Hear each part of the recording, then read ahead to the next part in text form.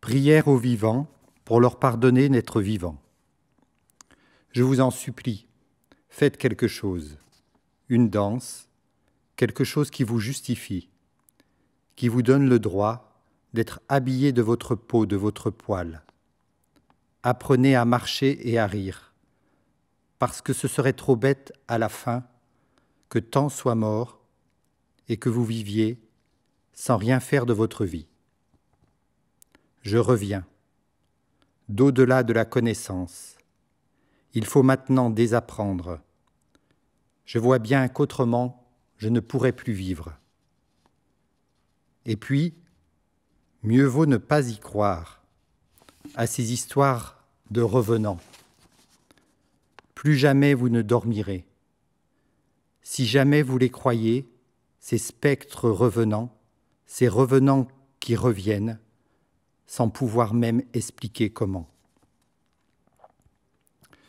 Cet extrait d'un poème publié dans le volume intitulé Une connaissance inutile de la trilogie Auschwitz et après donne en quelques vers la dimension humaine et poétique de ce qu'ont été la vie et l'œuvre de Charlotte Delbo après son retour de camp de concentration.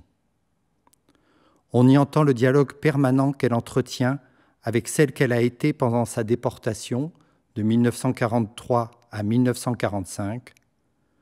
On y entend aussi son goût de vivre, exigeant et joyeux, et sa volonté de s'adresser par l'écriture à ses contemporains pour témoigner et éveiller les consciences. Née en 1913, Charlotte Delbo a grandi dans une famille modeste d'immigrés italiens. Sa formation de sténodactylo la met en contact avec le philosophe marxiste Henri Lefebvre et les milieux communistes.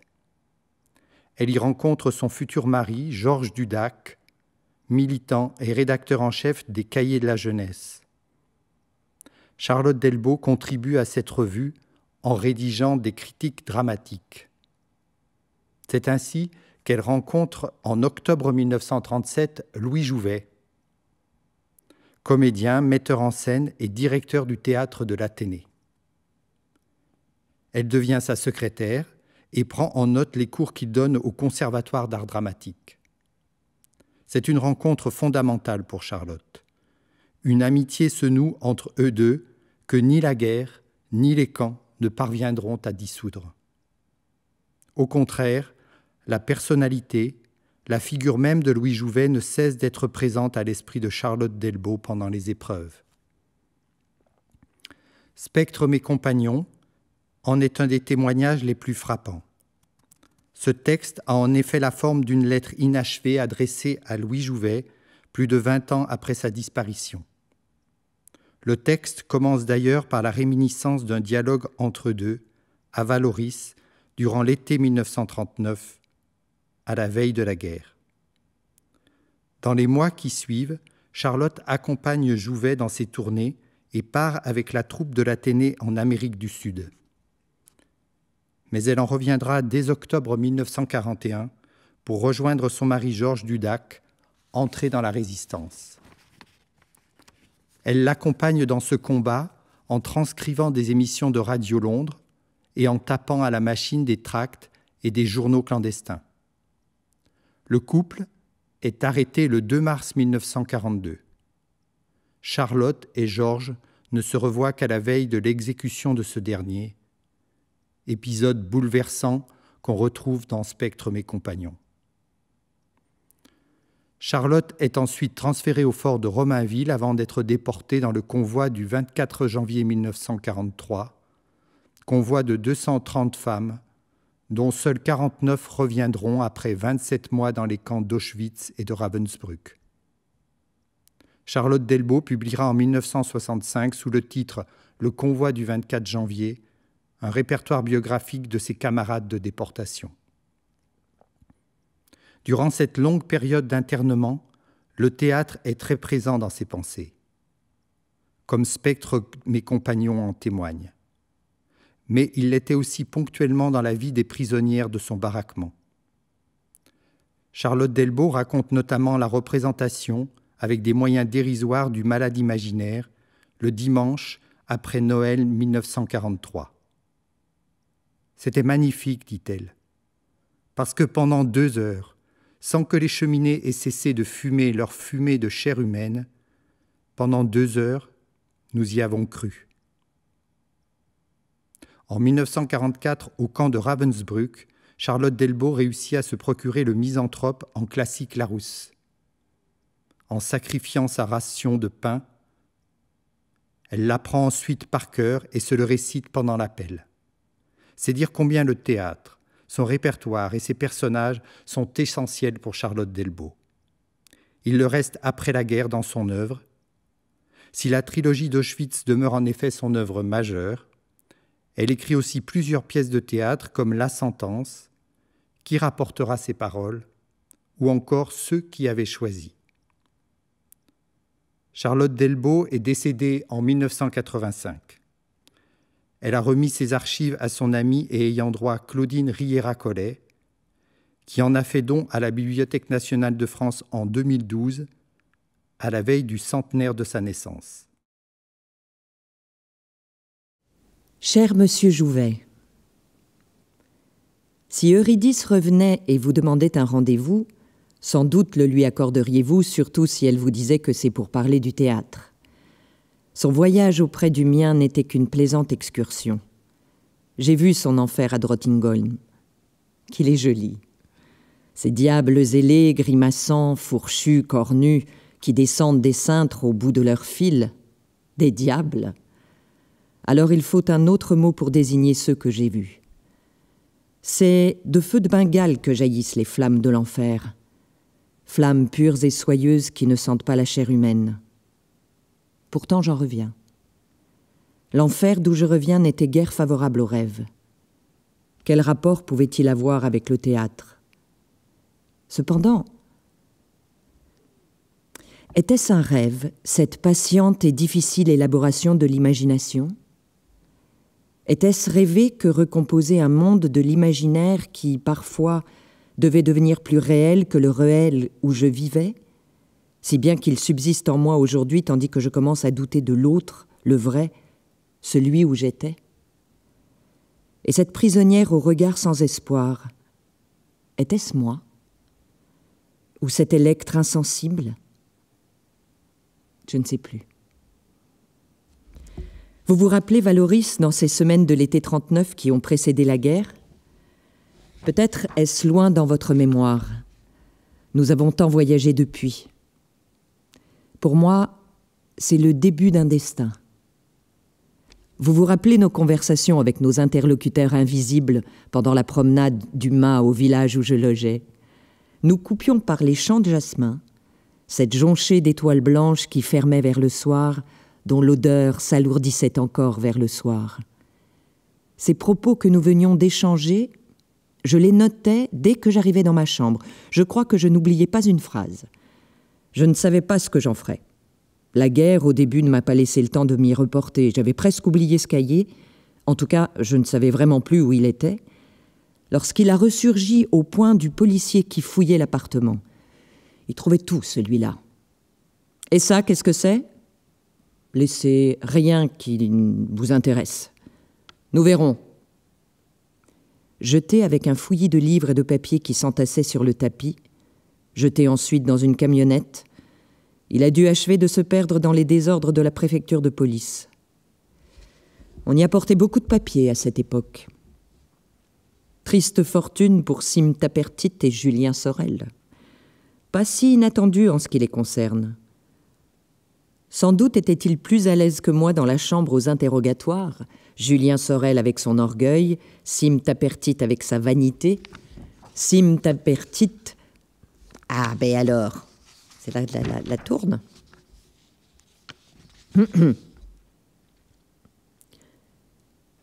Sans doute était-il plus à l'aise que moi dans la chambre aux interrogatoires, Julien Sorel avec son orgueil, Sim Tapertit avec sa vanité. Sim Tapertit croisant avantageusement les jambes en caressant ses mollets en face de joli cœur, mon commissaire, qui criait Et que faisiez-vous, rue X, dans un dépôt de brochures clandestines Valoris au cœur des montagnes, velouté dans le soir où tout bleuissait, dans le silence transparent, de plus en plus transparent de la nuit, la route pâle où nous marchions, l'odeur des jasmins. Tournant, il fallait presque se baisser, vous surtout, pour passer sous des eucalyptus, et on entendait le craquement du bois, tous les craquements et les frôlements de la nuit d'été, sèche, chaude, habitée. Une étincelle, et le bois s'enflammerait, l'incendie illuminerait la colline, sa lueur dissoudrait tout le bleu de la nuit. Il n'y a que par là que Valoris puisse faire penser à l'Europe en ce mois d'août 1939, aux matières bien sèches et bien inflammables qu'on entasse au cœur de l'Europe, auxquelles on va mettre le feu. C'est un de ces soirs où le bois murmurait, où les arbres se parlaient comme se parlent les ombres d'intermezzo, où la vie magique de la nuit faisait crisser l'herbe, s'ébouler les pierres du sentier. Pourquoi se mettent-elles soudain à rouler les pierres la nuit quand rien ne les effleure? Un de ces soirs où se répondent les oiseaux solitaires entre des nappes de silence. C'est en écoutant la nuit que vous m'avez demandé Est-ce que tu as peur? Peur, moi? Non. Pourquoi? Tu n'as pas peur? Non Pourquoi aurais-je peur? On a peur d'un danger qu'on pressent ou qu'on voit. Quel danger y a-t-il? Tu n'as jamais peur? La nuit, par exemple. Je ne parle pas d'un danger, je parle de la peur. Non. Je n'ai pas compris alors de quelle peur vous parliez. J'étais raisonnable et terre à terre. Vous, vous pensiez à Don Juan, n'est-ce pas? La peur, non. Ce n'est pas ce qu'on éprouve en face du danger. C'est plutôt ce qu'on éprouve quand on imagine un danger. La peur lucide en face du danger réel, ceux dont on dit qu'ils ont du courage la dominent. Mais la peur, en face du mystère. J'aurais dû chercher et me rappeler ce que j'éprouvais enfant en me regardant longtemps, longtemps dans une glace, en me répétant d'une voix qui bientôt ne résonnait plus comme la mienne. C'est toi, toi qui es là, c'est toi qui te regardes. Et là, en effet, on éprouve la peur comme un vertige. Est-ce que tu as peur? Un soir d'août 1939, j'ai pu répondre que je n'avais pas peur. La guerre menaçait, mais cette menace est si terrible qu'on ne veut jamais y croire. Les dangers qu'elle porterait, les épreuves, les peurs, rien de cela n'affleurait à la pensée. La peur qu'on ressent en rêve, quand on rêve qu'on est somnambule, qu'on se voit près de tomber et qu'on ne peut rien, rien pour s'empêcher de tomber, j'y ai pensé souvent depuis. Des raisons d'avoir peur, j'en ai rencontré beaucoup, des dangers et des menaces et des terreurs. Et pourtant je me demande si c'est avoir peur qu'être en face de la mort et ne pas s'en soucier parce que la vie est bien plus terrifiante que la mort. Vous n'avez plus parlé de la peur et nous avons continué à nous entretenir de Julien Sorel et de Sim Tapertite qui nous accompagnaient ce soir-là. C'était l'époque où nous les fréquentions beaucoup.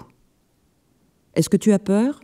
Ils auraient pu répondre, Julien Sorel et Sim Tapertite. Pourquoi m'aviez-vous invité avec eux? Ah oui, pour faire des monographies de personnages, en mettant bout à bout tous les passages où ils se trouvent, agissant ou parlant, leurs gestes décrits, leurs songeries expliquées. Il me semble que c'était en rapport avec les gestes que fait l'acteur sur scène lorsqu'il anime un personnage. Vous dites agir un personnage. Cherchiez-vous chez Stendhal et chez Dickens l'auteur dramatique, le dialogue de théâtre? Chez Sorel et chez Sim Tapertit, le personnage de théâtre? C'est ainsi qu'eut lieu cette étonnante rencontre de Julien Sorel avec Sim Tapertit, de Lord Chesterfield avec le jeune évêque d'Agde, qui se retrouvaient ensemble chez Louis Jouvet pour y être présenté à Arnolphe, à Don Juan et au prince de Danemark. Je ne sais plus comment s'est terminé ce travail, s'il s'est terminé. Je crois que Sim Tapertit et Julien Sorel sont restés des personnages de roman. J'ai cherché depuis en quoi ils diffèrent des personnages de théâtre et je ne sais comment l'expliquer. Je suis sûre que personnages de théâtre et personnages de roman sont différents. Je voudrais pouvoir expliquer en quoi ils sont différents. Je voudrais pouvoir expliquer... On ne dirait pas qu'ils parlent la même langue. D'ailleurs, non. Les uns parlent, les autres non. Les personnages de romans s'expliquent et expliquent leur action dont ils nous découvrent les mobiles. Les personnages de théâtre agissent devant nous et nous laissent le soin de découvrir leurs raisons d'agir. Les personnages de romans nous disent leurs secrets. Les personnages de théâtre paraissent ne rien cacher, mais gardent leurs secrets. Au travers d'interprétations différentes, successives, le personnage de théâtre subsiste. On dira que c'est par le comédien qu'il existe. Sans doute. Mais il existe aussi en dehors du comédien. Étrange ambiguïté. Un peu comme une espèce de fantôme à qui le comédien donne pour un moment une réalité plus ou moins grande, dans une vérité plus ou moins approchée. Pourrait-on dire alors qu'il y a eu autant d'Arnolphe que de comédiens qui ont interprété le rôle? Non, ce ne serait pas juste non plus. Arnolphe existe à côté d'eux, au-dessus d'eux, éternel grâce à Molière, survivant grâce à tous ceux qui lui ont prêté un visage et une voix. Et encore non. Il survivrait même sans eux. Je vous ai demandé, voulez-vous dire que même interpréter le personnage demeure abstrait? J'ai envie de répondre qu'il y a peut-être deux personnages le personnage abstrait créé par l'auteur, un personnage concret animé par un comédien, et que ce n'est pas toujours le même. Si ces deux personnages collaient exactement l'un à l'autre, l'interprétation serait parfaite. C'est cette interprétation juste qu'il faut s'efforcer d'atteindre, c'est-à-dire que c'est le personnage abstrait, le personnage créé par l'auteur, qu'il faut chercher et retrouver. J'ai fait un bien extraordinaire détour pour retrouver Alceste et Électre. Ils ne m'ont pas suivi tout de suite. En vérité, je n'avais pas du tout l'impression qu'ils partaient avec moi. C'est plus tard, alors que je ne pensais pas à eux, qu'ils m'ont rejointe. Au début, j'étais enfermée dans une pièce haute où rien ne m'atteignait, que des voix sans visage, une lumière pâlissante qui animait des ombres sur le mur taché d'humidité. Dans cette lumière, les volumes s'abolissaient. Pensées et objets n'existaient plus que comme des ombres sur le mur. Ombre de mes pensées, ombre de ma vie, ombre de mon amour, étaient projetées sur l'écran de ma mémoire. Ce mur, tandis que leurs souvenirs sensibles m'échappaient. Pendant des jours et des nuits, j'ai dû m'acharner à donner à ces ombres contours et relief. Leur glissement était silencieux, leur présence réticente et fugitive. À ces ombres, j'étais moi-même ombre, semblait-il. Pendant des jours et des nuits, j'ai dû m'acharner à affirmer mon être, à me saisir dans un effort extrême de conscience pour m'assurer de mon existence en face des fantômes qui voulaient l'absorber, l'engloutir. C'est ainsi sans doute que se recrée la vie intérieure, cet effort de la conscience pour embrasser son existence que Proust appelle la recherche du temps perdu. On pourrait croire qu'il n'est pas d'endroit plus propice à retrouver le temps perdu qu'une cellule nue où les murs réfléchissent toutes les nuances de l'imagination, toutes les couleurs du souvenir. C'est à cela que je me suis convaincu qu'un homme a d'autant plus d'existence qu'il a éprouvé plus de sensations, accumulé plus de connaissances, d'autant plus d'existence aussi qu'il existe dans la pensée de plus d'amis. C'est sans doute aussi pourquoi on ressent alors davantage le regret de ne pas connaître l'Inde ou le grec, d'avoir manqué une représentation de Cymbeline ou une rencontre. Dans cet effort d'appréhension que fait la sensibilité réduite à l'état du souvenir, la mémoire, privée de repères sensibles, dématérialisée, apparaît pourtant comme un moyen dérisoire. Dans un monde d'objets sans volume et sans poids, non, on ne peut retrouver le temps perdu sur des murs nus, où les souvenirs sont devenus abstraits. Je me suis rendu compte que je ne retrouverais que des spectres. C'est alors que Fabrice est venu me voir.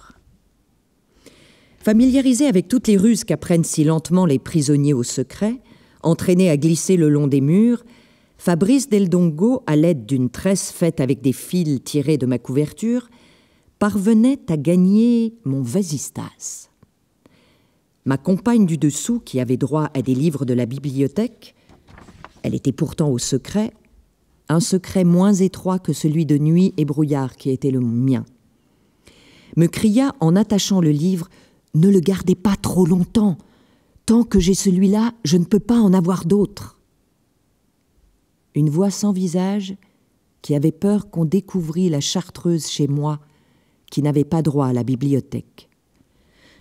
Je le lui ai retourné assez vite, encore au moyen de la tresse que je refis, car je l'avais défaite entre-temps par prudence, les fouilles étant fréquentes. Mais Fabrice resta. Désormais, ma cellule était habitée. La présence de Fabrice était plus qu'une présence. Un personnage vit d'une vie supérieure à celle d'un être humain. Cette fois, j'en ai eu la preuve. Il atteint, selon le milieu dans lequel on l'immerge, à un degré d'existence plus ou moins fort. Le personnage en prison s'anime d'une vivacité particulière. Il semble qu'il s'y épanouisse avec une plus grande liberté. Peut-être n'y a-t-il que là qu'il puisse être tout à fait lui-même. Il est seul, il est écouté. Il trouve chez son interlocuteur une attention, un intérêt que rien ne lui dispute. Fabrice, debout dans ma cellule nue, avait pour la première fois toute sa taille. Aucune de ses pensées ne pouvait m'échapper, aucun de ses gestes. Pourtant, nos relations ne sont jamais devenues familières. Devant moi comme devant Gina, il restait sur la réserve. Mais je devais comprendre ce que Gina ne comprit pas sans doute. Fabrice n'avait pas de secret. J'avais craint surtout au début que cette retraite, pourtant consentie, lui pèse, lui fasse regretter davantage sa vie aventureuse, d'autant que dans ma prison, nous étions loin de son aimable citadelle, de la fille du gouverneur, des signaux que lançait Gina dans la nuit italienne. Mais Fabrice était doué d'une faculté qui manque à presque tous les humains. Il savait s'ennuyer. L'ennui est un rebutant apprentissage. Rester allongé sur une couchette inconfortable, dans une pièce vide, sans rien savoir du monde, entendre les heures sonner après les heures, compter les jours qui succèdent aux jours et y perdre son compte, les nuits aux nuits, sans rien faire que suivre sur le mur l'ombre des barreaux que l'heure déplace, paraît insupportable. On voudrait penser, on en a le temps.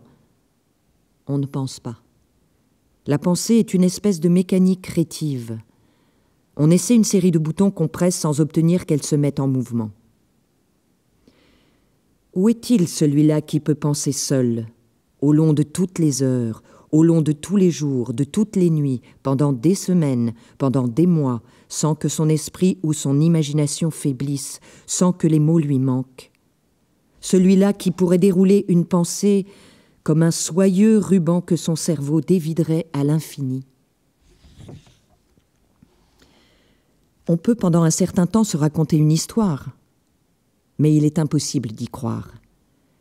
Si encore on pouvait l'écrire, on prendrait son parti de ne pas y croire, mais on n'a pas le droit d'écrire, ni rien pour écrire. On peut revoir tous les incidents de son passé, reformuler les détails, arranger tout autrement, de toute façon, on se heurte au mur. C'est toujours contre les murs qu'on se cogne. On peut se proposer des projets d'avenir, mais on y croit encore moins. Il se heurte au mur, à la porte, au silence, à l'appréhension qui grandit comme une certitude. L'avenir, mon avenir n'est plus, à cause de la porte, des murs, du silence, à cause du tribunal qui ne rend que des arrêts de mort. Fabrice en prison était beau et sombre, et il ne méditait pas, il ne posait pas, sans pour autant avoir rien perdu de ce que le monde trouvait affecté chez lui ou simulé. C'était cela son naturel, être masqué. Vous me direz que pareil compagnon de réclusion ne devait être ni très distrayant ni très fraternel. Il ne parlait guère, ne s'amusait de rien, d'un souvenir plaisant par exemple, échappait aux questions et ne se racontait jamais. Pourtant, j'ai su de lui tout ce qu'il n'a pas dit. Peut-être est-ce dans son silence qu'un homme se livre. C'est enfermé dans cette cellule en compagnie de Fabrice que j'ai eu le sentiment de l'inéluctable, que je l'ai éprouvé physiquement, si je puis dire. Sentiment de l'inéluctable, conscience du destin. Fabrice, marqué par le destin, le savait. Avait-il peur? Il ne me semble pas qu'il y ait une relation entre la peur et le pressentiment du destin quand, c'était mon cas, on prend conscience du destin alors qu'on est en prison et qu'on se sait condamné. Et quand on se pose la question, si auparavant j'avais anticipé ma situation actuelle, je me serais représenté moi-même ayant peur. Et maintenant pourtant je n'ai pas peur. Je n'ai pas peur et je suis en présence du plus grand danger. Quels sont les inhibants de la peur? Sans doute que la connaissance exacte du danger paralyse l'imagination. Sans doute aussi que la peur est débarrassée alors de ce qu'elle recèle de trouble, et que la peur précise est moins dissolvante que la peur imprécise. Mais l'apprentissage que l'on fait de tout ceci en prison, au secret, sans que rien, rien puisse intervenir dans la décision qui est celle de la vie ou de la mort, de votre vie ou de votre mort, et de la mort de l'homme que vous aimez, décision qui sera prise dans une région inconnue et lointaine, cet apprentissage-là est souverain contre la peur. Vous êtes seul, dans un réduit obscur où les bruits du monde sont tellement amortis que vous vous demandez si vous rêvez. Rien ne vous visite, ni ne vous voit. Vous êtes abandonné, oublié, et vous savez que dans un bureau, votre dossier passe d'une pièce à l'autre, d'un justicier à un autre, de la vie à la mort. Si l'on y gagne une plus grande possession de soi-même, en même temps se détruit une région sensible qui avait jusque-là une part dans la vie affective, dans la vie intellectuelle. Se détruit aussi une région, peut-être celle qui est la source de la poésie. Comment vivre dans un univers d'où la peur est abolie? Je veux dire, dans un monde aigu et précis. Comment vivre dans un monde sans mystère? Ceci semblerait une apologie de l'obscur, de l'inconnaissable, de tout ce que veulent entamer la science, le besoin de connaissance, la vérité. Ce n'est pas tout à fait juste, car le mystère recule, mais subsiste. Quand il aura tout à fait disparu, s'il disparaît comme le prétend la science. Il faudra que les hommes trouvent d'autres sources de poésie, et sans doute en trouveront-ils. Une poésie du fantastique.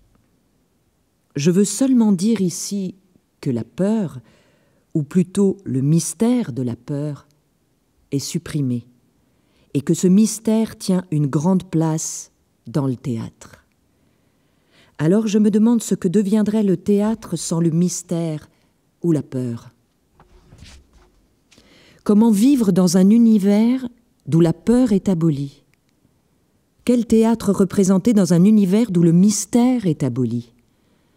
Je me suis posé cette question jusqu'à l'arrivée d'Ondine. Elle avait perdu son mystère, elle était là, à côté de moi, aussi présente, aussi réelle que moi. Était-ce moi? J'ai eu peur tout à coup. Voilà que de nouveau surgit la peur. Peur de ce qui peut-être était un autre moi-même. Ma peur a vite disparu. Ondine présente me donnait la preuve de ma propre présence en me portant avec elle dans le surnaturel. Et pourtant, Ce n'était pas un jeu. Et pourtant, cette action était vraie. Hans allait mourir, et non mourir de sa mort de théâtre. Hans allait mourir de sa mort charnelle. Hans me disait adieu de sa voix déjà teintée d'ombre. Fallait-il parler ou nous étreindre? Nous avons d'abord choisi de parler, mais j'ai mesuré tout aussi l'inutilité qu'il y avait à parler. Confier quelque chose à celui qui disparaissait. Et je voulais que ce soit lui qui parle. Mais il n'avait que bien peu de mots à dire. Et quand nous avons voulu nous embrasser, si personne n'appelait trois fois Ondine, la sentinelle devant la porte de la cellule où Hans se tenait debout, où je le voyais juste avant sa mort, la sentinelle appelait mon nom. La première fois, j'ai fait un geste de la main, non pas encore. La seconde fois, je l'ai embrassé. Et au troisième appel, il a fallu que je sorte, que je quitte Hans, qui semblait s'éloigner dans la brume et devenir aussitôt éclatant, brillant d'un éclat qui n'appartenait plus déjà à sa forme humaine. Ondine ne m'avait pas quitté pendant toute cette scène. Elle sort avec moi, descend l'escalier à ma suite, et quand je me suis interrogée pour me rappeler le moment exact où elle m'était apparue, j'ai revu sa silhouette se détacher du mur au moment même où j'entrais dans la cellule de Hans. Et là, j'ai pu voir qu'un personnage de théâtre vivait aussi en prison. Le personnage d'Ondine, dans une action qui était celle de la vie même. J'étais entré dans la cellule où Hans allait me dire adieu, avec des mots qui sont ceux de tous les adieux, car c'était un éternel adieu, impossible de s'y méprendre. Et la présence d'Ondine l'attestait, elle qui oublierait et de savoir que moi aussi je devrais oublier me déchirait le cœur. Et pourtant c'était l'évidence puisque je vivais, puisque je n'étais pas morte à la première parole de Hans. Cela voulait bien dire que je l'oubliais déjà, que je continuerais à vivre, donc que j'aurais oublié. J'appelle oubli cette faculté qu'a la mémoire de rejeter dans l'insensible le souvenir d'une sensation chaude et vivante, de transformer en images qui ont perdu leur pouvoir enivrant ou atroce le souvenir de l'amour vivant, de l'amour de chair et de chaleur. Et Ondine ressurgissait au moment même de ma vie où se jouait le destin, l'adieu, où tout était arrangé de telle sorte que rien ne pouvait en modifier le cours. Hans mourait, et je vivrais encore. Hans mourait, et j'oubliais, et tous les repères que j'aurais eus si sa mort était survenue naturellement dans le cadre de notre vie, tous ces repères étaient perdus. En prison et dans les autres lieux où j'irais ensuite, qui n'étaient pas ceux où nous avions vécu ensemble, et c'était vraiment comme de respirer dorénavant dans un autre élément, et quand je pensais à ma vie avec lui et que j'essayais de penser à ma vie sans lui, il y avait entre ces deux lieux autant de différence qu'entre la terre et l'eau où retournait Ondine. Là alors, j'ai été accablé par l'irrémédiable, l'irrémédiable accompli, auquel je n'avais pu échapper, ni Hans, parce que dès le début, le piège s'était refermé. Et j'éprouvais à la mort de Jay le même désespoir qu'Ondine à la mort de Hans, car Jay aussi ne portait la mort que par une volonté étrangère à son corps, à sa vie. Tout en lui était muscle et souplesse, et chacun de ses sens aurait pu énumérer une longue liste de projets, tous sensés sûrement même qu'il avait fait des projets irréalisables, en sachant très bien que c'était spéculation pure pendant tous ces jours où il avait attendu la mort. Et chaque matin, au grincement des serrures qui annonçaient le jour, il avait dû poser ce paquet de projets à côté de lui, puis le reprendre au grincement qui sautait sa porte. Ce n'est pas encore pour aujourd'hui. J'ai une journée et une nuit encore.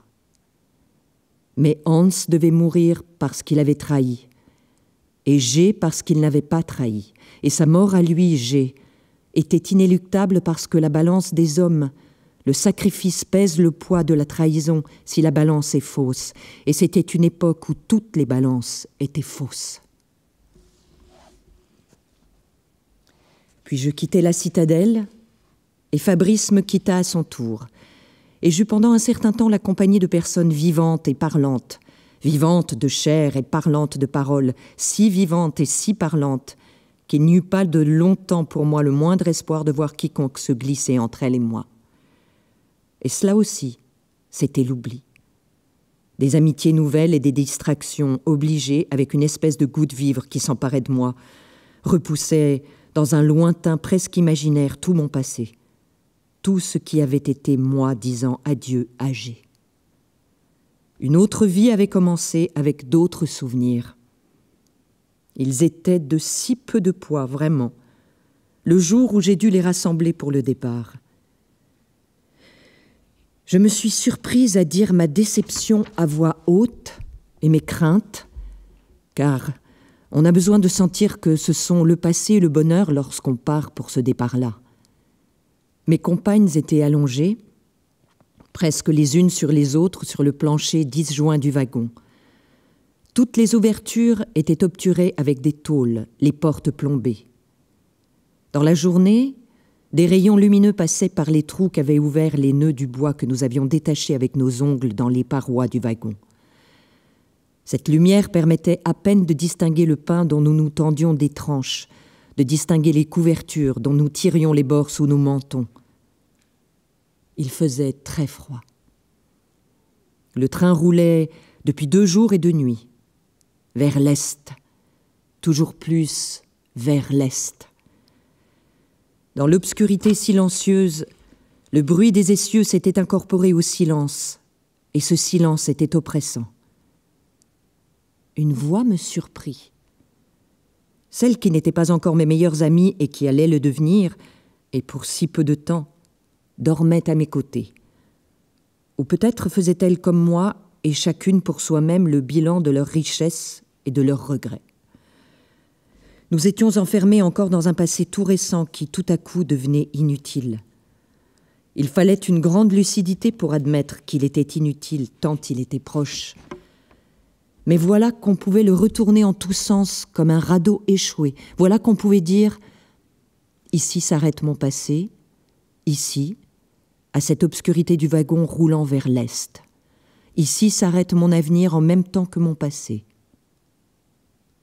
Qui pouvait espérer? Qui espérait? Aucune, j'en suis sûre. Et faire semblant n'était que crânerie. Et moi qui avais abandonné G à la mort un matin dans la prison, moi qui avais dit adieu à G et à toute notre vie ensemble, dit adieu, et cela voulait dire renoncer à tout notre passé ensemble, je me sentais dans ce voyage encore plus solitaire et dépourvu, encore plus vulnérable, parce que me manquait la certitude d'être aimé que j'avais eue alors. Au-delà de cette distance toujours grandissante entre moi et mon amour, puisque cet amour avait été anéanti, assassiné. Il fallait partir, prête ou non. Sans doute parce que je devinais mes compagnes occupées elles aussi à mesurer leur solitude, que je dis ma détresse à voix honte. Dans ce wagon, obscur, où les silhouettes étaient plus fantastiques encore que celles des rêves. J'avais parlé pour moi seule et je n'attendais aucune réponse. Pourquoi redouter tellement la solitude? Elle est parfois plus riche que la compagnie et moins décevante. Qui es-tu, toi qui parles ainsi? demandai-je à l'ombre qui prenait corps dans l'obscurité comme un épaississement de l'ombre elle-même. Il n'y a pas que la solitude, il y a la distance. Qui es-tu, toi, qui ne redoute ni solitude ni éloignement? Alceste. Alceste dis-je, non sur le ton de la surprise. Il y avait longtemps que rien ne pouvait plus me surprendre. Alceste dis-je avec joie.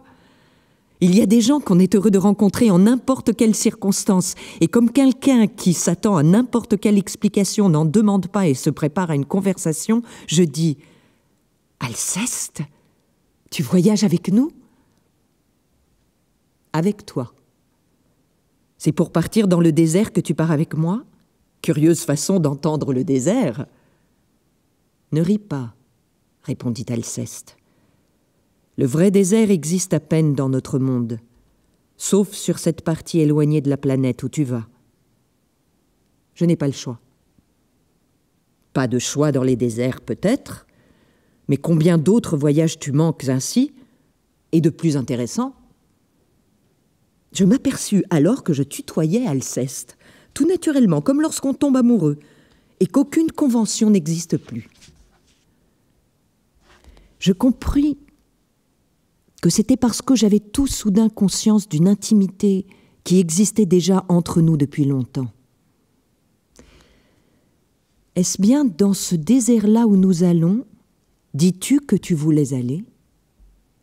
Depuis longtemps j'aurais dû partir, mais celui-ci est un vrai départ. C'est alors que je sus qu'Alceste, héros de théâtre, avait l'étoffe d'un héros humain c'est-à-dire le courage. Celui qui m'accompagnait par choix, là où j'allais par contrainte, et quelle contrainte Celle de la force, celle des armes. Le train s'arrêta. C'était la troisième nuit. Il y eut quelques manœuvres, et au bruit que firent les tampons se heurtant et se repoussant, nous pouvions comprendre que nous passions sur une voie de garage.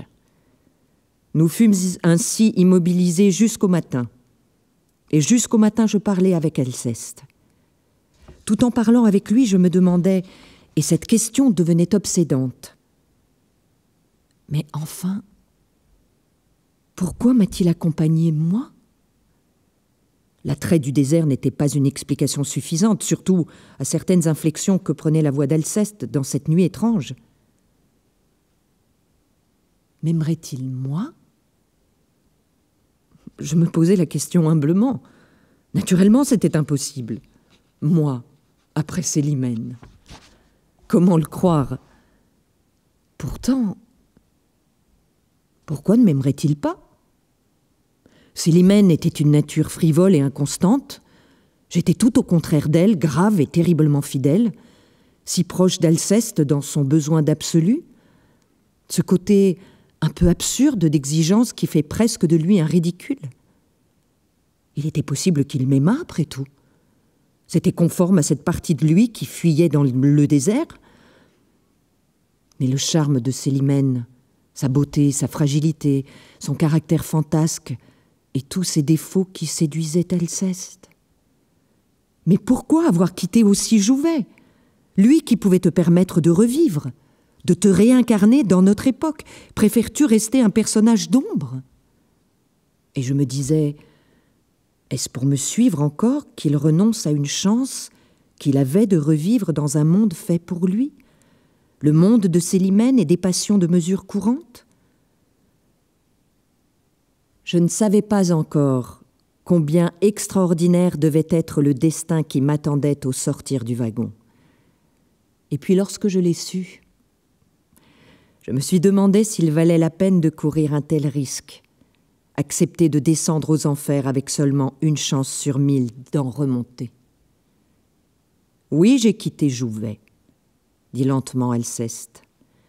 Il y avait du regret dans sa voix.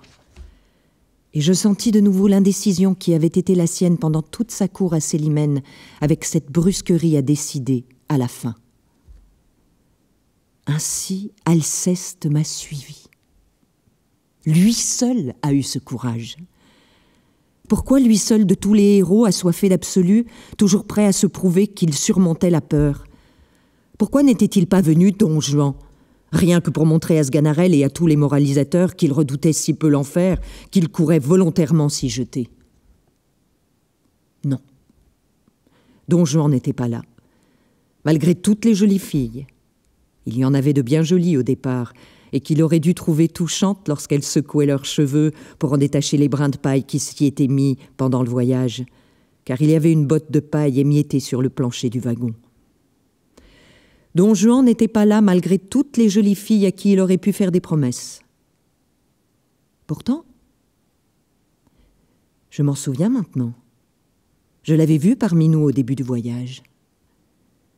Au premier transbordement, lorsqu'il avait fallu monter dans les wagons noirs, Don Juan avait disparu. Il ne voulait pas payer si cher sa curiosité et son goût de la bravade, lui qui aimait tant se convaincre qu'il n'avait peur de rien. Mais auprès de qui? Devant qui aurait-il fanfaronné Défié? Aucune de nous n'était d'humeur à le supporter. Don Juan, si détaché, si attachant dans le monde des relations normales de femme à homme, si captivant pour tous ceux qui veulent deviner son secret, Don Juan avait perdu son intérêt. Qu'importait son secret désormais? Qu'importait son mystère à des femmes qui allaient mourir? Don Juan nous avait quittés.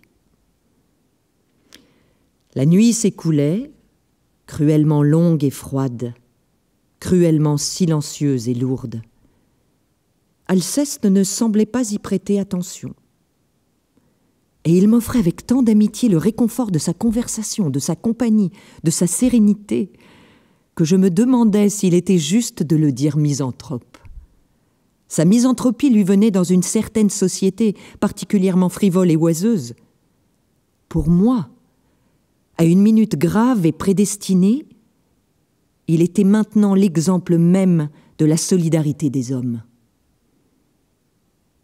À ce moment, il y eut un grand branle-bas. On entendit des chiens qui hurlaient et aboyaient furieusement, des ordres qui tentaient de dominer les aboiements, des sabots de chevaux qui piaffaient pesamment sur le sol durci par le gel. Oh, qu'il faisait froid. Les portes des wagons roulèrent sur leurs glissières. Tout à coup, une grande trouée d'air glacé nous dénuda de nos couvertures, de nos lainages entortillés avec un arc que nous avait fait acquérir plusieurs jours d'immobilité dans le froid. On entendit le remuement de jambes engourdies, de corps qui se soulevaient, se dégageaient les uns des autres. À des ordres plus impérieux et plus menaçants, plus proches à nos oreilles maintenant que les portes étaient ouvertes, nous obéîmes, sans comprendre.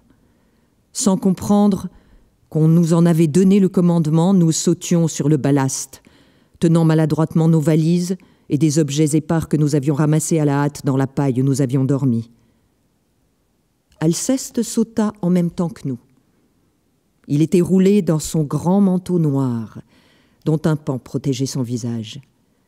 Sur le fond de clarté, cette clarté si pâle de la nuit qui se termine en hiver, sa silhouette se découpait, sombre, dans l'encadrement de la porte.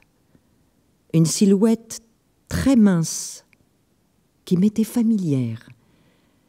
J'allais pousser un cri d'étonnement lorsqu'il disparut. Je le vis disparaître d'un pas rapide, un pas qui ressemblait un peu à celui d'Arnolphe entrant en scène avec sa cape sur le bras, son chapeau comme un corbillard de première classe, un pas qui ressemblait à celui de... Comment était-ce possible? Tant de ressemblances dans un seul geste. Et Alceste disparut soudain, comme lorsqu'on tourne à un coin de rue. C'était Jouvet qui disparaissait au coin de la rue Comartin. Alceste n'avait pas pu résister au paysage désolé qui se présentait à la descente du train. Certes, il avait eu dessein de poursuivre dans le désert son idéal de solitude, mais comme je l'avais craint d'ailleurs, il ne pouvait vivre si réellement loin des hommes, loin de l'humain. Et la tentation devait être trop forte d'aller vers Jouvet, d'avoir un prétexte aussi justifié pour retourner dans la société qu'il avait voulu fuir. Et j'ai su alors que le destin d'Alceste était de vouloir s'en aller et de ne le pouvoir, toujours retenu par quelque aspect de la vérité humaine cher Alceste. Puisqu'il avait préféré Jouvet et non Célimène, c'était évident, aucun doute sur ce point, je ne pouvais lui en avoir de ressentiment, au contraire. J'étais apaisée comme de savoir désormais en sûreté un ami menacé, et d'autant plus reconnaissante qu'il m'avait accompagnée pour un aussi long voyage. Alceste avait disparu. Je ne l'ai point retrouvé pendant tout ce long séjour aux enfers. Retrouverai-je jamais personne de ses amis, ni de mes amis anciens? J'aurai maintenant des camarades. Elles ont des qualités solides et fraternelles qui sont celles dont on a besoin dans un combat aussi inégal. Je savais qu'Alceste avait fui, sans retour, que les autres avaient abandonné en cours de route, que certains, comme Hermione ou Chimène, n'avaient pas même été effleurés par l'idée de m'accompagner, et c'était difficile à croire. Encore pour Hermione ou Chimène, j'avais compris qu'elles avaient besoin d'un bras d'homme pour exécuter leur volonté. Dans les rangs des prisonnières, je les cherchais malgré moi. En vain. Là où les humains souffraient et mouraient, les personnages de théâtre ne pouvaient pas vivre. Dans ce climat de l'inhumain, dans cette lumière cruelle, rien ne pouvait vivre. Le personnage succombait, ou plutôt cessait d'être, et c'était comme s'il n'avait jamais été. C'est ainsi que j'ai eu la certitude que le personnage de théâtre ne peut vivre que dans la société des hommes. Là où les hommes meurent, il meurt à son tour, après s'être décoloré en une image toujours plus pâlissante, qui s'évanouit comme un reflet dans la mémoire de Moribond. Le personnage de théâtre fait partie de la société. Lui aussi, il est homme, homme idéal, mais qui se nourrit des rêves humains et des passions humaines. Il est plus qu'humain supra-humain, parce qu'il contient en puissance tous les hommes.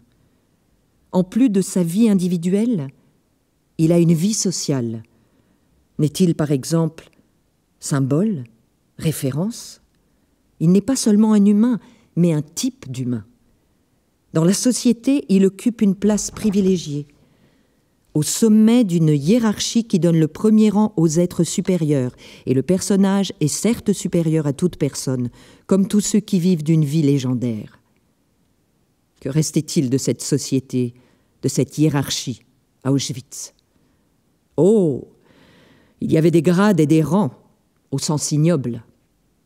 Les conditions étaient telles qu'il subsistait en un certain sens une caricature de société, avec ses prostituées et ses criminels à la tête d'une organisation machinée de manière que la mort soit la seule issue. En dehors de cette armature de contraintes, il n'existait que des individus isolés, des êtres privés de tout recours, de tout appui, des êtres abandonnés, à la merci d'éléments qui les annihilaient, les désagrégeaient, les tuaient un conglomérat d'êtres à ce point diminués, avilis, dépossédés d'eux-mêmes, ne forme pas une société. À peine un troupeau, un troupeau pitoyable, effrayant. Comment des personnages pourraient-ils vivre là? Jamais ils ne supporteraient une misère aussi totale, dans une horreur aussi quotidienne de crasse, de souffrance, de déchéance. Le personnage de théâtre est né dans une société libre, en tout cas, une société qui sait ce qu'est la liberté et qui peut y aspirer. Une société composée d'hommes qui ont du temps pour penser et la volonté de s'idéaliser dans des héros. À Auschwitz, le héros est anonyme, tristement anonyme. L'héroïsme perdu et celui qui avait franchi le seuil était mort déjà aux autres hommes. Ainsi pour moi mourut Alceste. Ainsi mourut même son ombre, qui disparut dans la brume du matin et se confondit avec celle de Jouvet, disparaissant de mon souvenir, parce que les souvenirs les plus chers devaient être abandonnés, parce que nous devions nous alléger de tout ce qui, en nous gardant notre tendresse, nous rendrait vulnérables. Il me semblait que c'était pour toujours. Climat de l'inhumain lumière dissolvante. La part de cette lumière était grande dans l'anéantissement des personnages. Éclairage curieusement projeté en une nappe diffuse, au ras du sol, sous un écran de ciel bas et gris foncé, d'où tombait, mais par quelle brèche, une lumière décomposante. Rien n'y résistait, et tout perdait dans cet éclairage son épaisseur, sa réalité, plus cruellement et plus totalement que dans la prison. C'était, juste le contraire de l'éclairage du théâtre qui donne aux personnages leur volume et leur poids. Ici meurent et se dissolvent les personnages parce que la lumière de l'atroce les boit. Et j'avais beau épier, observer, écouter, je ne rencontrais jamais personne de connaissance. Était-ce que ma mémoire s'en allait ou que je n'avais plus besoin d'eux? D'aucun d'eux Les jours succédaient aux jours et chaque minute était une victoire. Mais pour si peu d'entre nous. Et parfois j'avais l'espoir de revenir et cet espoir me torturait. À quoi bon si je dois rentrer seule? Et dans cette solitude si écrasante, si mortelle, qui aurait bien pu se hasarder? Qui, vraiment? Moi dit Électre. Elle se tenait debout au bord d'une ligne que formaient des roseaux sur le fond des marais, et il me semblait même qu'elle avait un sourire fier et résolu. Ressuscité, Électre en appelait d'autres à résurrection. Ont répondu les plus forts, les plus fiers, ceux pour qui la vie est lutte, pour qui le défi est règle de vie. Que tout s'embrase, que tout s'écroule, que tout sombre, mais que la vérité éclate, disait Électre, inflexible. Et tandis que je la faisais revivre pour mes camarades à bout de force, à bout de vie, d'autres venaient l'entourer dans un arrière-plan imprécis que ma mémoire redessinait en en ordonnant les contours par la seule évocation de leurs paroles. Don Juan, que j'avais accusé de couardise, qu'il me pardonne. Don Juan, qui parie contre le ciel, était là pour parier contre l'enfer. Son exemple ne montrait-il pas que de l'enfer, on remonte? Il suffit d'un comédien. Donc, que nous. Et ce n'était pas son charme qui nous touchait, non, c'était son courage du pari intenable le pari qu'il nous fallait faire contre tout espoir, contre toute chance. Et Antigone, qui affrontait le supplice pour ensevelir son frère, aurait dû nous sembler bien ridicule à nous, qui enfoncions dans la boue glacée des marais, pendant que nos mortes de la veille, nos camarades d'hier, jetés toutes nues au crématoire, s'en allaient en nuages de suie puante que le vent rabattait sur nous. Cette odeur nos camarades. Antigone, en ramassant de la poussière avec ses mains pour recouvrir le corps de son frère, avait une grandeur qu'elle n'a sans doute jamais eue ailleurs. Sur le fond livide du marais auquel le jour donnait sa dimension, sur le fond illimité du marais dont le jour montant reculait l'horizon, Ondine se dessinait, translucide, épuisée par l'effort qu'elle faisait pour demeurer encore, pour ne pas disparaître dans l'oubli que les eaux recouvriraient, translucide et pourtant réelle. Réelle par sa seule volonté d'être encore, pour ne pas oublier. Ondine, qui n'était plus que spectre de son amour, disait de sa voix détimbrée par le froid qu'elle aimerait toujours Hans, et qu'ici, toujours, c'était une minute seulement. Toujours signifiait une minute seulement. Une minute à respirer l'air glacé, une minute pour se souvenir, une minute pour savoir que demain n'existait pas. Et pourtant, quelle force dans cette transparence. Comment un être si frêle pouvait-il être tendu par une telle volonté, la volonté de vivre une minute encore, une minute encore à ne pas oublier, une minute encore pour que l'amour survive. Ondine retardait à chaque minute, d'une minute, le moment où elle disparaîtrait au fond des eaux, recouverte par l'oubli. Et cette minute était décisive. C'est à tenir une minute encore, et ainsi de minute en minute, que nous atteindrions peut-être le jour du retour. Les chances étaient minces, mais Don Juan assurait qu'il fallait tenter. Ondine était là, forme sans épaisseur sur l'horizon brumeux, Ondine, réduite à une seule vibration d'énergie, pour dire que c'était sans doute impossible, mais que le défi devait être tenu, qu'avoir vécu l'amour absolu valait de tout s'ouvrir pour en rapporter la mémoire. Et Don Juan, qui s'était toujours moqué de l'amour, disait de même. Et lui, c'était par mépris des lois sous lesquelles tout le monde se courbe. Au voyage du retour, j'étais avec mes camarades, les survivantes d'entre mes camarades. Elles étaient assises près de moi dans l'avion, et à mesure que le temps s'accélérait, elles devenaient diaphanes, de plus en plus diaphanes, perdaient couleur et forme. Tous les liens, toutes les lianes qui nous reliaient les unes aux autres se détendaient déjà. Seule leur voix demeurait, et encore s'éloignait-elle tandis que Paris se rapprochait.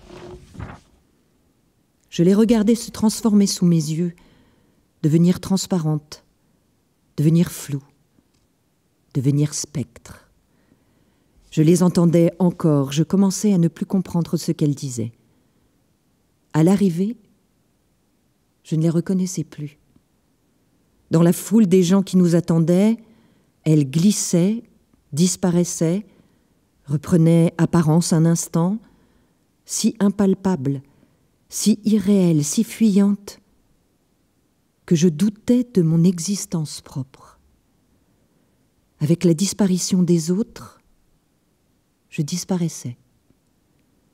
Elles ont joué ce jeu de feu follet pendant tout le temps où nous piétinions d'un bureau à l'autre, se perdaient, se retrouvaient, me retrouvaient, disaient des mots que je ne saisissais pas, s'évanouissaient encore et se fondaient enfin dans la foule des gens qui nous attendaient, engloutis pour toujours dans cette foule.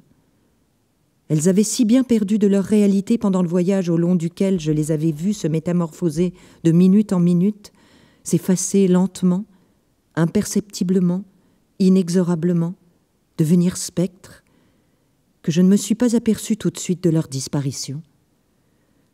Sans doute parce que j'étais aussi transparente, aussi irréelle, aussi fluide qu'elle. Je flottais au milieu de cette foule qui glissait tout autour de moi. Et soudain, je me suis sentie seule, seule au creux d'un vide où l'oxygène manquait, où je cherchais ma respiration, où je suffoquais. Où était-elle? J'ai constaté leur disparition quand il était trop tard pour les appeler, trop tard pour courir à leur recherche, et comment courir dans cette foule glissante. D'ailleurs, la voix me manquait et mes jambes se paralysaient. Où était-elle? Où êtes-vous? Lulu, Cécile, Viva? Viva. Pourquoi l'appeler maintenant? Viva, où es-tu Non. Tu n'étais pas dans l'avion avec nous. Tu es resté là-bas. Si je confonds les mortes et les vivantes, avec lesquelles suis-je, moi? Il me fallait admettre, et c'était une conclusion très longue à formuler, et jusqu'à ce que j'y parvienne, j'étais prise dans une angoisse qui me laissait errante, glissante et flottante. Il me fallait admettre que je les avais perdus et que désormais, je serais seule. Où chercher secours? Rien ne viendrait à mon secours. Crier était inutile. Crier à l'aide était inutile. Tous, dans la foule dont je sentais le glissement autour de moi, tous étaient prêts à m'aider, étaient là pour m'aider. Mais ils se proposaient avec leurs moyens à eux, sans rapport avec ce dont j'avais besoin. Et de quoi avais-je besoin? Les seuls êtres qui pouvaient m'aider étaient hors de portée. Nul ne pouvait les remplacer.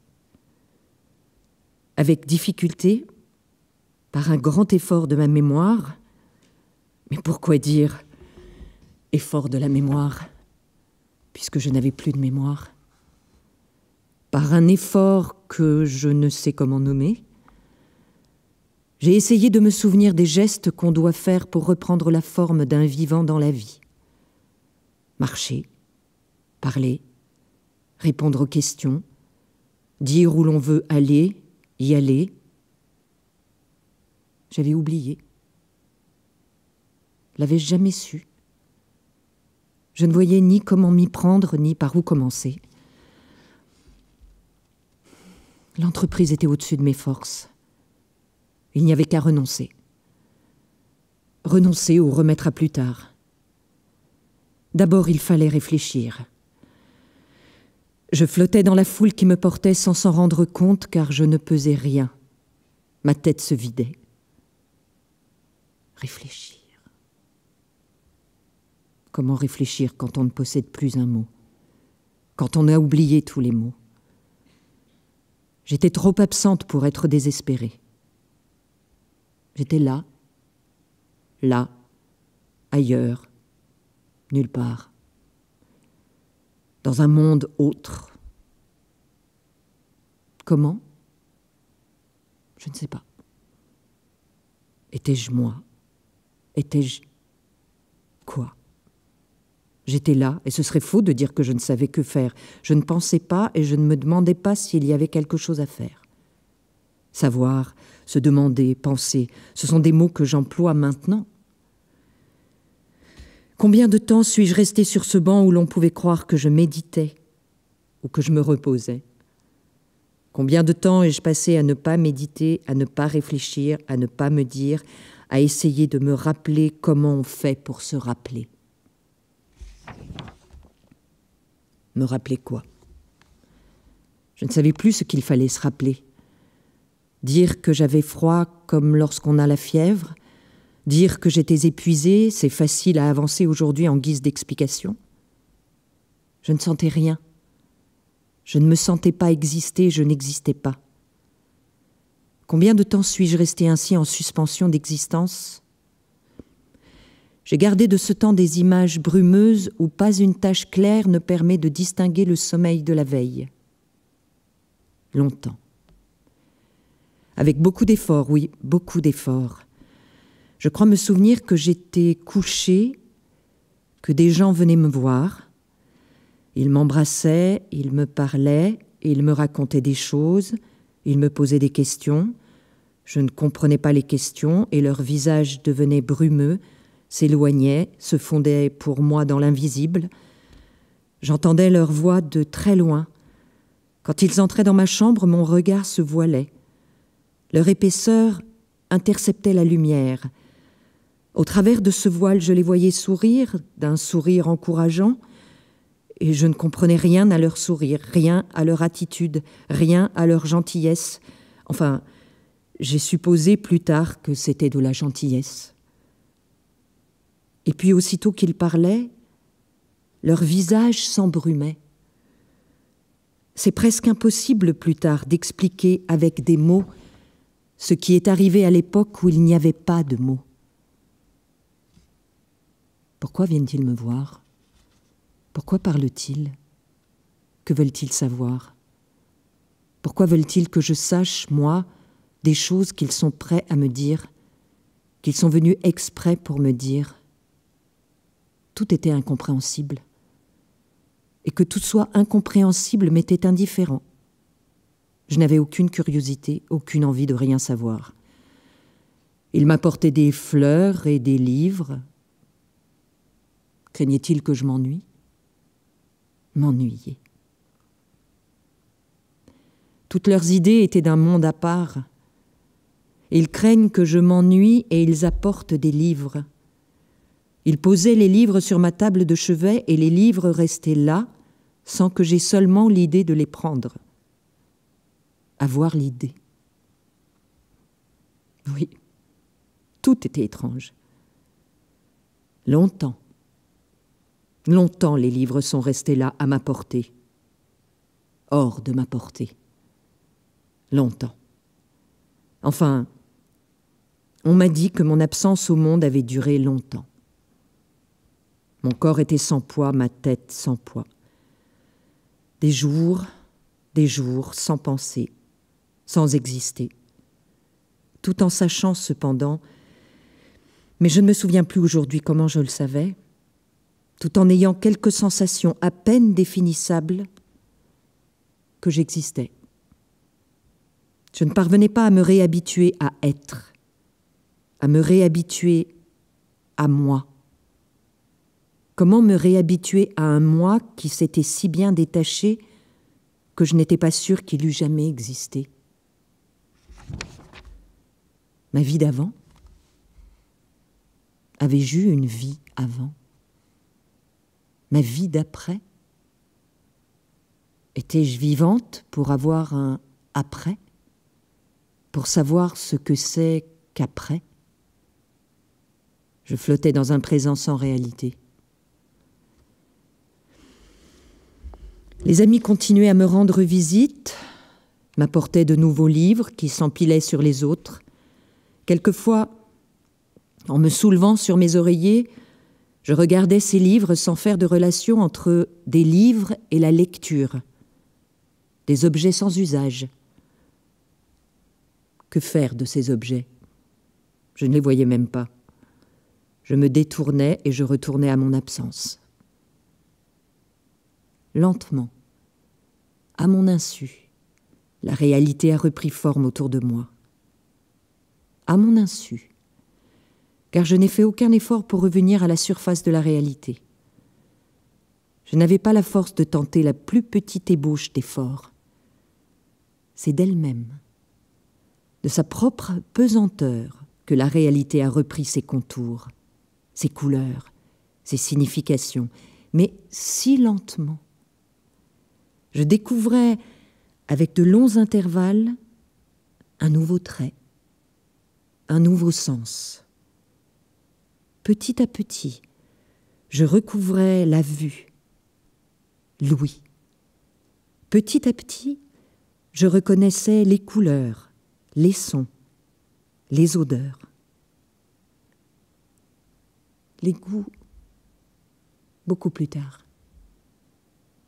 Un jour, j'ai vu. Oui, j'ai vu. Les livres sur ma table de nuit, sur une chaise près de mon lit. Tous étaient à ma main. Ma main ne s'avançait pas vers eux. Longtemps encore, je les ai regardés sans avoir l'idée de les toucher, de les prendre.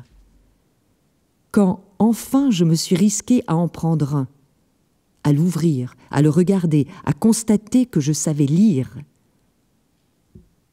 Il était si pauvre, ce livre, si à côté, que je l'ai remis sur sa pile. À côté, oui. Tout était à côté. De quoi parlait-il, ce livre? Je ne sais pas. Je sais que c'était à côté. À côté des choses, à côté de la vie, à côté de l'essentiel à côté de la vérité. De même que je baissais les yeux pour ne pas voir les visages, parce que les visages se dénudaient sous mes yeux, parce que je voyais tout des gens au travers de leurs visages, dès que j'arrêtais mon regard sur eux. Et cela me gênait au point de m'obliger à baisser les yeux.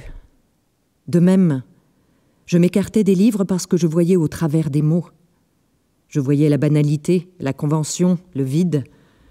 J'y voyais l'habileté. Et que sait-il celui-là qu'il veut me dire? Et pourquoi ne le dit-il pas? Tout était faux. Visage et livre. Tout me montrait sa fausseté.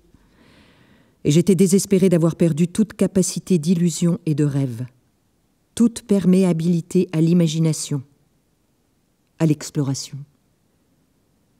Voilà ce qui de moi est mort à Auschwitz. Voilà ce qui fait de moi un spectre. À quoi s'intéresser quand on décèle la fausseté, quand il n'y a plus de clair-obscur, quand il n'y a plus rien à deviner, ni dans les regards, ni dans les livres? Comment vivre dans un monde sans mystère? Comment vivre dans un monde où le mensonge se colore en couleurs aveuglantes et se sépare immédiatement de la vérité, comme dans ces mélanges qui se décomposent où chaque ingrédient reprend sa couleur et sa densité propre. Je me suis interrogé longtemps sans trouver la réponse. Pourquoi vivre si rien n'est vrai? Pourquoi regretter de ne plus pouvoir être dupe? C'est si confortable. Je me débattais dans un dilemme insoluble. Je regardais les livres inutiles. Tout m'était inutile. Mais à quoi sert de savoir quand on ne sait plus comment vivre? Un matin, j'ai été réveillée par quelqu'un qui était entré dans ma chambre et qui m'appelait. Sa voix était sourde, quoique bien nette. Cette voix, il me semblait la reconnaître. Non, je ne la reconnaissais pas. Elle avait un timbre qui remontait d'un temps très lointain, du temps oublié, et elle frappait à ma mémoire, elle faisait tomber la porte de ma mémoire pour s'y engouffrer, pour redevenir réelle. Soudain, elle a pris volume et couleur, couleur et sens. Sans tendre l'oreille ni faire appel à mon intelligence, j'ai compris ce qu'elle disait. Je ne savais pas encore qui elle était. Je cherchais, sûr de la reconnaître. Qui est-ce? Mais qui est-ce? L'obscurité s'est déchirée d'un coup. Alceste. Alceste, c'est toi. Aucun doute. Alceste était revenu, il était là, près de moi. Sa voix devenait plus distincte et j'en retrouvais tous les accents. Oh, Alceste, c'est toi tu es donc bien toujours là, tu te souviens de moi? Je me souvenais de toi. C'est toi qui m'avais oublié. Pourquoi as-tu voulu m'oublier? Pardonne-moi, Alceste, et je le tutoyais comme avant. Je n'ai jamais voulu t'oublier. Pourquoi as-tu attendu si longtemps pour revenir vers moi? Je ne t'avais pas quitté. C'est toi qui ne voulais pas revenir. J'étais au royaume des ombres tout le temps que tu y étais toi-même. Je n'en reviens que parce que tu reviens. Alceste revenait. Je l'examinais. Je voulais reconnaître chacun de ses traits. Je le retrouvais tout entier avec ses voix, sa voix, ses gestes, sa timidité, son amitié pour moi. Quel bonheur Tout me revenait, les mots et la faculté de les dire, les gestes et la force de les faire. Je contenais à peine ma joie devant Alceste. Mais déjà ma joie retombait. Que se passait-il? Puisque tout était transparent entre nous ce matin-là, j'ai eu le courage de demander à Alceste Tu es revenu Seul? Et les autres? Alceste s'est assis au pied de mon lit et il m'a tendu un livre. Il m'a tendu un livre et il m'a rendu tous les livres. Mais Alceste et les autres, tous se pressaient déjà autour de nous. Tous que je reconnaissais dès leur entrée et qui tous montraient bienveillance et certitude. Sganarelle accourait en criant Mes gages, mes gages Et Electre intervenait aussitôt Non, pas elle. Ne lui réclame, réclame rien à elle. Elle a assez payé. Sganarelle a repris haleine pour répondre sans se soucier d'être du monde. Maintenant qu'elle est revenue parmi nous, elle vivra comme nous. On ne paie pas une fois pour toutes. Elle l'a appris aussi. On ne paie pas une fois pour toutes. Elle l'a appris aussi. Quand elle ne pourra plus supporter son prochain, elle menacera de partir dans le désert. Elle menacera tout en se gardant de le faire, comme toi, Alceste. Ou plutôt non. Elle ne menacera de rien. Une fois suffit. Le désert, elle sait ce que c'est. Elle. Et quand un ami m'a apporté une robe d'intérieur en soie mauve, au dos élargi de gros plis ronds et avec comme un effet de traîne, j'ai compris. En enfilant les manches doublées d'une mousseline à la douceur incroyable, j'ai compris. J'ai su que j'étais revenue. Et je me suis écriée Où as-tu trouvé cette merveille? On dirait que tu l'as prise dans la penderie d'Oriane. Ainsi, tout m'était enfin rendu. Le plaisir de retenir autour de sa taille une jolie robe de chambre, les livres, la mémoire.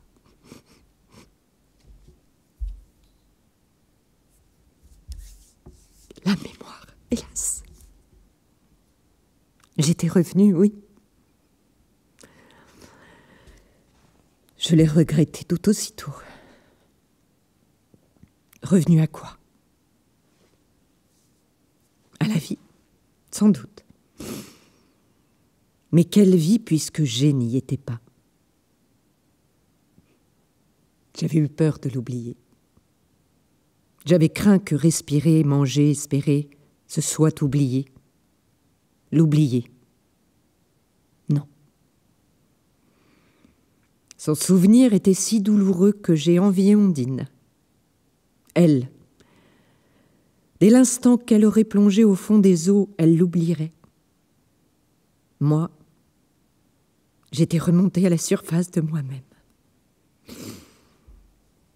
Et tout ce qui m'entourait n'était qu'arêtes coupantes et brûlantes, d'objets, de couleurs, de réminiscences, d'associations, d'évocations qui témoignaient que j'ai existé m'avait aimé, que je l'avais aimé, et que je n'étais pas morte de l'avoir quitté le matin qu'il allait mourir. Ainsi ne s'achève pas cette lettre que sa mort en 1951 m'a empêché de terminer et d'envoyer à Louis Jouvet, que je publie aujourd'hui, alors que tous les souvenirs me reviennent. Paris, 1975.